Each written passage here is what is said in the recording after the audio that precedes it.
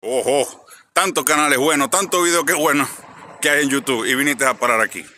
Pero bueno, ya que llegaste te muestro esto.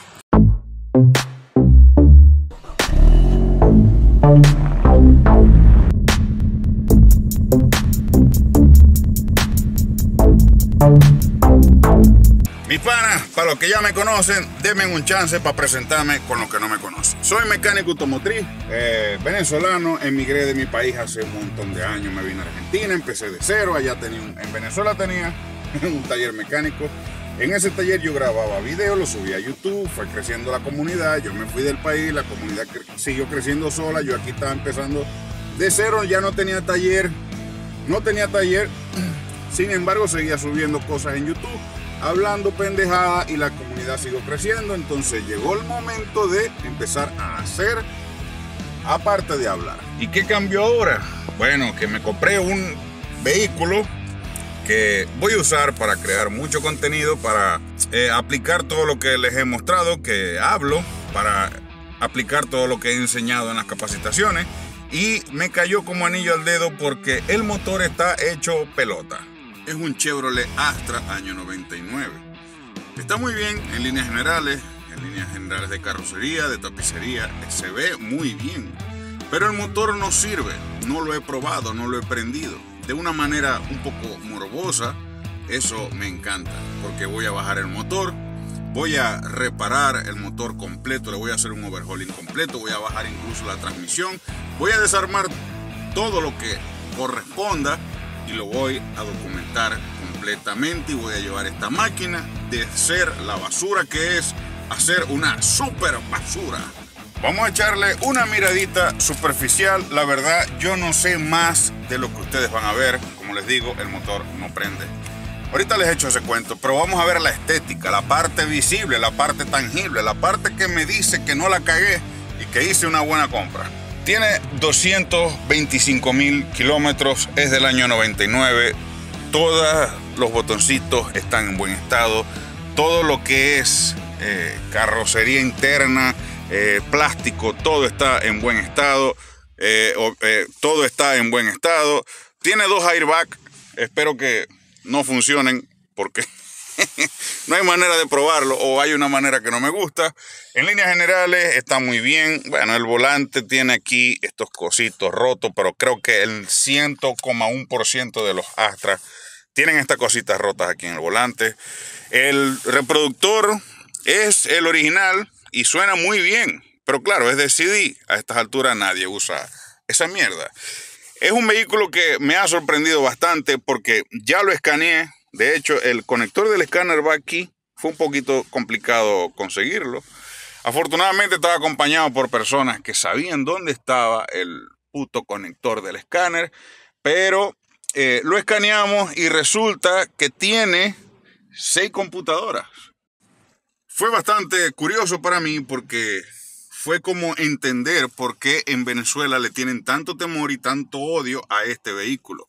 Es un vehículo que aparentemente fue muy adelantado a su época, tiene un protocolo CAN-BUS muy avanzado, tiene eh, un OBD2 bastante completo para esa época, tiene una computadorcita aquí, miren, que dice si le falta aceite, si hay que cambiar el aceite, si hay que hacerte la prueba del COVID, si le faltan cosas a los frenos y de hecho eh, le conecté una batería, a ver, enfoca. Le conectamos una batería, pusimos en contacto y resulta que hay que hacerle todo lo que se les ocurra. Me dijo que le cambiara el aceite, que le cambiara los frenos, que le cambiara la transmisión, que le cambiara el motor y que se suscribieran al canal de YouTube. Ahí lo salió, se lo juro por vinagre. La tapicería está impecable. Está impecable en líneas generales. La tapicería está espectacular. Eso me alegra mucho. La carrocería está la verdad intacta, no tiene óxidos, obviamente tiene detalles de vehículo viejo, pero más allá de las telarañas que tiene, eh, porque estuvo mucho tiempo guardado, mucho tiempo parado, más allá de las telarañas, es un vehículo que se puede restaurar es un buen candidato, tiene mucho potencial, porque en líneas generales, lo repito y no me canso de repetirlo porque necesito una automotivación para decirme que no la cagué y que hice una buena compra, pero en líneas generales yo lo sigo viendo súper, súper, súper conservado. Es año 99, 225 mil kilómetros. Si se ponen a echar números, solamente ha recorrido aproximadamente 15 mil kilómetros al año. Y por eso, pues está así. Si tiene su cosita, esto está feito, se lo vamos a cambiar, pero más allá de eso, al cambiarle esto, al cambiarle esta cosita que está aquí, que es un plástico bastante económico, ya lo vi por ahí, pues está, no voy a decir perfecto, pero voy a decir más que perfecto. Todas las puertas están así, intactas en la tapicería. Todas las puertas están así, no tiene óxido por ningún lugar, más allá de la mugre y pues un ecosistema completo de insectos por todo el tiempo que estuvo guardado. Pero en realidad yo me enfocé mucho fue en buscar puntos de óxido, puntos de cosas podridas que son para mí irreparables y no conseguí. La tapicería pues es como una muestra del estado en el que se encuentra el vehículo en general. Tiene este cosito para que mi hijo lo rompa en su momento. Si todavía me siguen, si tienen un Astra, por favor coméntenme si el quemacoco o el coco roof o el sunroof es así. No lleva acá otra pieza de tapicería debajo que tape ese vidrio porque en un día soleado, pues el sol me va a quemar la cabeza, ¿no? No lleva algo acá. Asiento copiloto, visión del copiloto, todo bello, todo hermoso, a excepción de que no prende. Pero eso es lo que más me gustó de este vehículo. Evidencias del tiempo que estuvo guardado, sin usar, pero sí me metí para acá a revisar puntos de cosas podridas, puntos de choque y nada. De hecho, todas las puertas, incluyendo el maletero, cierran así. Literal, así. Ups. Ah, bueno. Ahí quedó. Excelente. Está enterito, nunca tuvo choque, se ve la línea perfecta. Y bueno, en general es un vehículo que es un tremendo, tremendo proyecto. Incluso abrir el capó es una experiencia nueva, porque el capó se abre así, se jala esta cosa para afuera. Y yo, pues, tuve mis momentos de, de buscando acá el ganchito, que nunca lo conseguí, obviamente. Y necesito las dos manos. Ah, tan desastre. Te comento rapidito la situación del motor. Eh, recalentó, lo recalentaron hasta que se apagó. Y luego prendió, lo llevaron al taller, el mecánico eh, detectó que había quemado la junta, sopló la junta, comunicó agua con aceite, pasó el presupuesto, el dueño anterior no aprobó ese presupuesto, se lo llevó a su casa y ahí estuvo parado varios meses hasta que yo lo compré. A partir de ahí empiezo yo a mirar lo que pueda y decido comprarlo. Lo peor que le puede pasar a un vehículo de esto es un mal mecánico. Eso es lo peor que le puede pasar, porque el mal mecánico ya hace daños que son irreversibles y después que la cagan, ni que se le gaste el Banco Central de cualquier país se vuelve a levantar. Este vehículo nunca ha tenido gas, nunca ha tenido GNC. Yo odio el GNC, nunca me van a ver a mí con esa basura en mi vehículo y eso me gusta mucho. No sé si nunca lo tuvo, tal vez cuando empiece a toquetear voy a conseguir evidencia de que en algún momento lo tuvo, pero hasta ahora no hay rastro de que en algún momento llegó a usar GNC. Espero que más adelante no me dé con una piedra en los dientes. Pero más allá de eso, no he conseguido huellas de que ya hayan pasado mecánicos poniendo las manos cochinas por aquí. Sí tiene sus detalles como un vehículo viejo. Por ejemplo, por aquí veo cables que no corresponde ir por aquí. Esos cables los voy a arrancar y los voy a poner original. No sé de qué mierda serán estos cables, pero van a ser eliminados. Por allá abajo veo la ficha o el conector del compresor del aire. El compresor del aire está por allá. que hace esa mierda por allá? Y veo muchos cables que no me gustan. Todos esos cables los voy a picar de raíz y los voy a poner todos nuevos originales. Pusieron un refuerzo de tierra por aquí, pegado al escape. Por Dios santo, de enviarle un rayo que le caiga en los al mecánico ese antes de que se reproduzca. No es porque no funcione, es porque se ve horrible. Y del escape, el punto más caliente, vas a pegar un cable ahí. No tiene mucho sentido, se va a incendiar, hermano. Más allá de eso, pues sí tiene sus detallitos, mangueritas rotas por aquí, restos de la fauna silvestre por allá, eh, cablecitos, cositas. Esto está desconectado, desconecté la bobina. Yo desconecté la bobina para hacer unas pruebas. Lo intentamos prender y ahí es donde vino mi decepción y mi tristeza y mi cierto arrepentimiento de haberlo comprado, pero bueno, ya me motivé y vamos a darle con todo. Ahora te cuento la historia de lo que voy a hacer. El día que lo fui a ver, el dueño anterior, el que me lo vendió, me dijo, si quieres lo prendemos porque el motor prende. Y yo no lo quise prender en ese momento porque pensé, si a esto le entró agua y tiene un montón de tiempo ahí parado, el agua le puede hacer un desastre. Entonces mejor no lo prendo. Sin embargo, llegué aquí y empezó el diablo a hablarme. Prendelo, prendelo, prendelo, prendelo, prendelo. Lo intentamos prender. Dale. Dale. Va verga chupeta, pues. Y no me gustó mucho el comportamiento que tuvo el motor en ese intento de arranque. El motor estaba pegado, estaba trancado, a punta de arranque despegó y ya que esté pegado para mí es un pésimo, pésimo, pésimo indicio. Incluso estoy presupuestando un motor completo nuevo. Es decir, voy a abrir este y tal vez decida comprar otro motor porque tal vez este no se pueda reparar. Bajo mis criterios, bajo mis parámetros de trabajo, tal vez no se repare. Vamos a ver, en el próximo video yo desarmo el motor y se lo muestro, pero él lo he presupuestado. Porque el agua estancada dentro de un motor, señores, hace un desastre en el tiempo. Miren esto.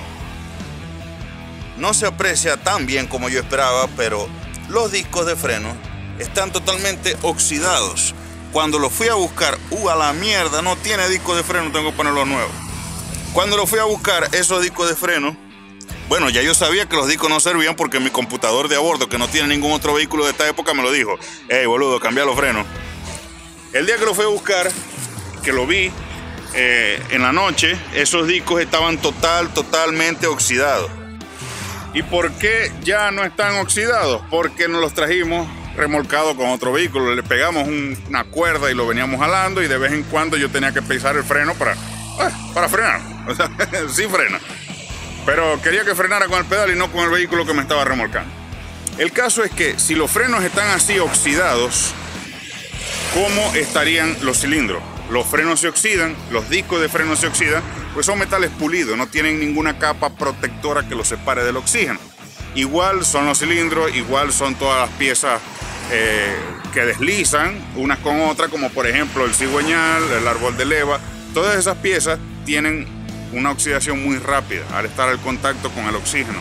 Entonces este motor tuvo muchos meses con agua en el interior y por eso pienso que el óxido puede ser un desastre irreversible. Pero ya lo veremos y lo explicaré mejor cuando desarme el motor.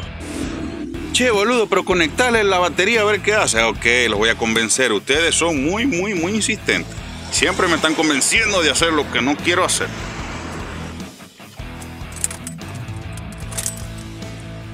Mira, prende lucecitas aquí. Mira, eso está hecho mierda pero se puede leer. Ah, no, mira, ah, cuando lo prendí la primera vez, esas luces no se leían y aparentemente se quieren leer un poquito. ¿Será que le falta batería? ¿Será que le falta un poco de cariño? ¿O será que la pantalla está hecha mierda y también la voy a cambiar? Que ya averigüé que vale 50 dólares en Mercado Libre y es barata y la quiero. Dice comprobar luz de freno, comprobar no sé qué. ¿Qué más cosa dice ahí?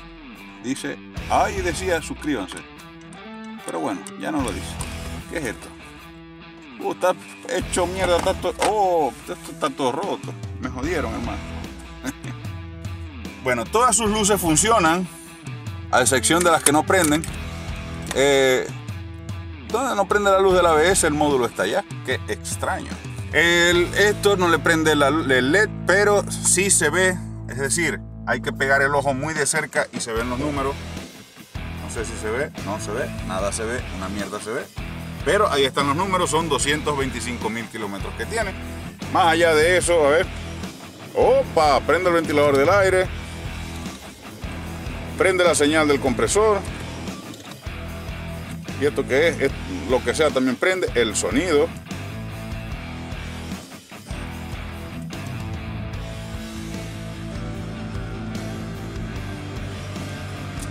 Bueno, no puedo prender el sonido porque YouTube me, me censura esto. Pero todos sus cositos le funcionan. Los vidrios. Oh, ahora no quiere subir. Ah, bueno, se trancó. Oh, bueno, detallitos de. Pero este sí sirve. Este baja, sube. Y este también. Se va a mamar la batería. Esto sirve también. Me encanta esto, Samuel. Va a encantar, ¿eh? Uh, la batería se está descargando. Y va a quedar abierto. Pero bueno. Tiene lucecitas y tiene cositas y vamos a aprender esta cosita. Oh, me salió un poema. Esto le funciona. Bueno, supongo. No sé qué es esto. Creo que esto es un elevador de luces. Pero sin embargo sigo diciendo que para el vehículo que es, estas son cosas muy adelantadas a esa época. Es decir, este tipo de lujo lo tenían solamente vehículos de altísima gama tiene este botón aquí, no sé qué mierda hace, ya le he dado varias veces y no explota, o sea que no es el botón de autodestrucción, no lo es. Y esto, abre, ah, mira, abre esto aquí, qué lindo, no lo sabía. Tiene un coso para los que no se quieren y fuman. Yo si me quiero no fumo, pero ahí voy a conectar algo, el cargador del teléfono. Esto está un poquito deterioradito, ahí tiene una patica partida, pero bueno. Aquella la tiene partida también y nosotros no le decimos nada. Quedó abierta esta verga.